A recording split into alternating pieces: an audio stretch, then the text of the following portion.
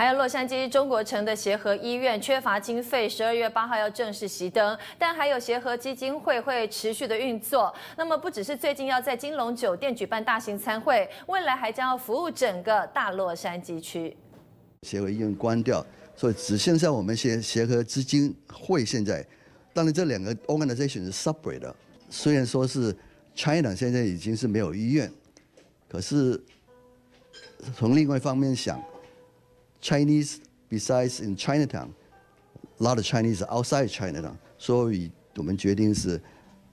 把我们的 support extend outside China area，整个 LA area 都是我们的 interest 之中。医学博士美国章表示，未来基金会将专注于华富的社会经济问题上，并且扩大服务范围，从支持无家可归的流浪汉、关怀华人银发族健康，到联手华富社区服务中心、华美博物馆等组织，推广孝顺敬老的亚裔文化，持续在健康、社会经济、心理与群众福利等方面，透过教育的形式来贡献华人社区。东新闻应用文用在洛杉矶的采访报道。